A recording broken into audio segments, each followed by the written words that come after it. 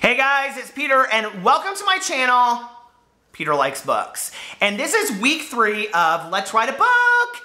And today's discussion is going to be about writer's block, which I'm claiming to ha have, but I'm really going to contradict myself as this video goes. But I really wanted to talk about writer's block because I think it's something that as all writers, people that write, we use that as an excuse, and I think it's just such bullshit. And it's interesting to me because there are so many writers that like constantly put out books and you're like, how do they just stay like in the flow? And one of the biggest, I can't do that thing that Alyssa Edwards does, but anyway, my husband can do it. One of the things that uh, people, that, or people ask me all the time, like, what's your best piece of writing advice? And I'm like, write, write, write, no matter what it is, just write. And then the second thing, this, the second thing is that you should, as soon as you finish one book and finish editing it, start your next book. Don't stop. Don't take a break. I took a break, and that break, which I thought would be a month, ended up being two years, you guys. So I wish I had never, never done that. Like, it was the biggest mistake I ever made in my entire life. The same idea that I'm working on right now is the same idea I was working on two years ago. You know, it's like it was ridiculous that I stopped. I never should have. I'd have had six books done by then. And in fact, there was a point because I'm a very fast writer. There was a point that I was like, I'm going to write three books a year. And what I'm going to do is January, February, write, March, edit, April, break, May, June, write, July, edit, August, break, September, October, write, November, edit, December, break. You guys, three books in a year, and that gives me two months to write a book, and that's simple. I could have totally done it. Have I stuck to it? Absolutely not. So that's my plan for 2017. Why start now what you can do in 2017? I mean, there's gonna be a new president. I mean, I'm so excited. So, anyway, and I can't wait till she's in office. But anyway, no. I'm like subtly getting in my like, it's so funny because like somebody like on Twitter like included me in this tweet and it was like um, this really like negative political comment and I was like, do you watch my channel at all? I mean, obviously you can kind of figure out like where I stand. But anyway, this is not about that, so I apologize. This is about writing. So for the last week, you guys, okay, first of all, you know that these videos are a way for me. They're kind of vlogging, kind of talking about how to write a book, but it's also mostly for me to hold myself accountable with my writing so that I actually have something done before this year is over. Because in 2017, my plan is to do what I just told you and write three books a year. And I think that's totally manageable for me because I want to be a full-time writer at some point. Um, and so, excuse me, um, I, to be completely honest, I'm choking on my words. To be completely honest and hold myself accountable, I haven't written one damn word in the last week. And I can make 50 excuses for it, but the reality is, you guys, I A, haven't just felt like writing. Like, I A. I haven't felt like writing. Like, I am so, I'm like reading so much. And then I just started Dead of Summer last night, the series, and I got so into it. I was like, oh, I'm to watch this whole thing in like two days. And, um, there's all these new TV shows. Fear of Walking Dead is coming back. Big Brother. Like you guys, I'm so making 50 excuses for not why not to write. And I think that's partly what writer's block is. Like when we talk about writer's block, which I think is a bullshit term, honestly, I don't think there's any such thing. Um, it's making excuses or causing distractions so that we don't want to write. Like, it's not, oh, I just don't have any ideas to write. Well, then you're not a writer because you're, what are you writing, right?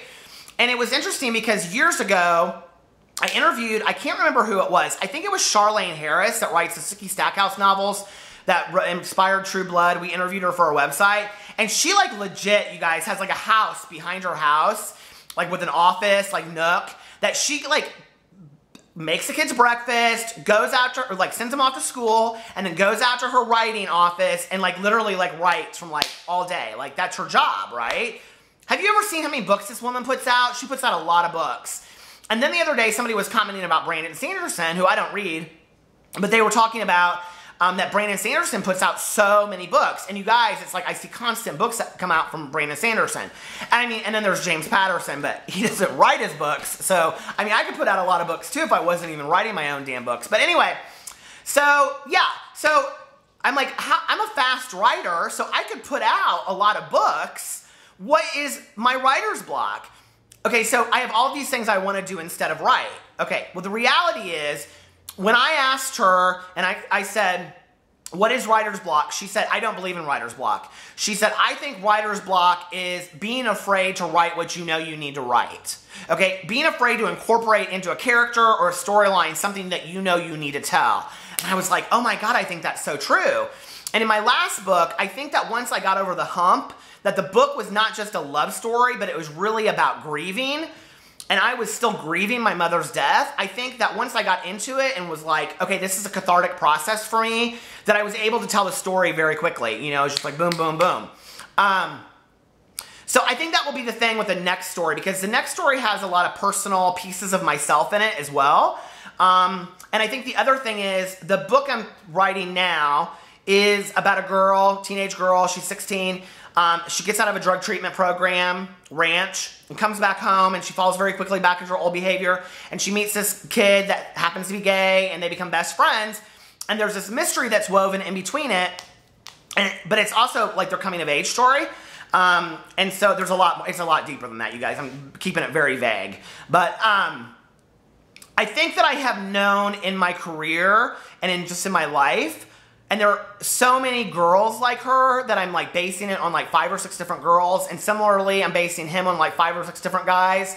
And there's so much of myself woven into these characters that I think that in a way I'm kind of afraid to look at the mirror and just deal with those things, if that makes sense. Like, I'm not somebody that doesn't tell on myself or tell my own truth. Like, I have no problem doing that. But sometimes I'm really afraid to just kind of like sit there and go, okay, Peter, like, it's time to deal with this shit. You know, like, let's clear out the elephant in the room.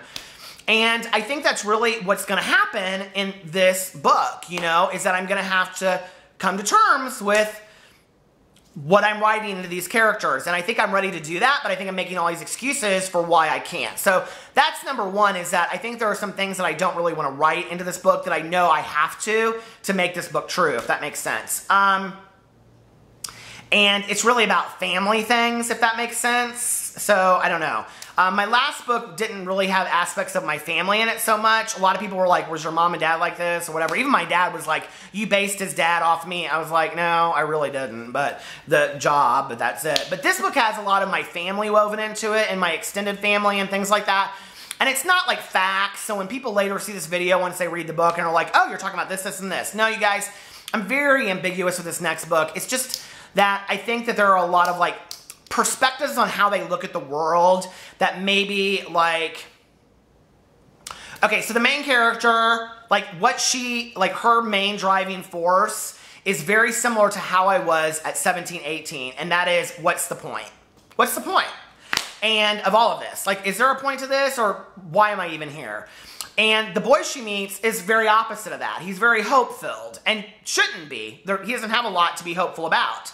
And so it's kind of him teaching her and her teaching him. And so anyway, I think all of my life I've been conflicted back and forth between what's the point and there's a lot there's a lot of points okay? There's a lot of reasons to be here. Life is awesome. Life is amazing. What's the point? And i think it's an inner struggle for me and i'm afraid to write the book because i don't know where i'll go. Does that make sense I'm sure some of you guys relate to that out there. So anyway, I just need, the truth, truth of the matter is, I need to sit my ass down over there at the computer. See? L. I need to sit down, left, L. I need to sit down and just tell my story. I mean, that's it, right? Like, and I love in movies when they show like writer's block and it's, they show writer's block, and it's like they just showed somebody sitting at the computer like this. I guess I should raise up. Like this, and they're like looking at the screen, and they're like the, and like the is just like bleep, bleep, bleep, bleep. You guys, that is not writer's block. I mean, writer's block is not not being willing to commit to what you want to write because you're afraid it won't be good enough. I think that's one part of it. And the second part of it, I think, is that you're afraid to tell the story that you know that you need to tell. You know, and I think those two pieces are writer's block. And once you, so really your block is yourself being afraid to just put the damn words down on the page and just do it, right? Because it could be total crap. But I read total crap all the time, you guys. I read books all the time that I'm like, why the hell is that book published, you know? So, yeah, I think that's it. And I was going to read you guys a little quote, but I don't think I'm going to. So anyway, um, I hope you guys are having a wonderful day. Do you guys experience writer's uh, block? Do you think it's bullshit like I do? Um, I'm next week. I'm not going to promise anything, but I hope that I will sit down and have some words written because the sad thing is, is that so many people are commenting or emailing me or tweeting me, oh, I have 20,000 words written or I have 15,000 words written. Thank you so much for your video. Um, like, you're really inspiring me with these and I'm really inspiring you because I'm not writing a damn word and what you're really doing is making me feel like shit. Because I'm like, hell, Peter, you're the one making the damn videos and you aren't even writing. And it'll be like week eight and I'll be like, well, I really don't have anything written and we're done with our book writing class. So next week, I hope to have my ass have sat down at that table and written something. I'm just gonna, I'm gonna do it tonight. I'm gonna make sure that for an hour tonight, I at least just sit there for an hour and have something done. So that's my promise to myself. Peter, the promise to yourself that you're making is that you will write for one hour today, all right? All right, you guys, follow me on all my social media if you have questions about writing or books to read or anything bookish or anything about the world. Uh, just let me know in the comment section below or tweet it to me or Facebook it to me or whatever you guys. I'm on every social media under Peter Likes Books or Peter Monn, M-O-N-N. You can find me both places. And if you like this video, please like it in the like button down below somewhere, like in this section. and um, hit the subscribe button. I mean, why not? It's free, you guys. And there's not a lot free in the world. So I'm just saying. All right, talk to you guys later. Bye.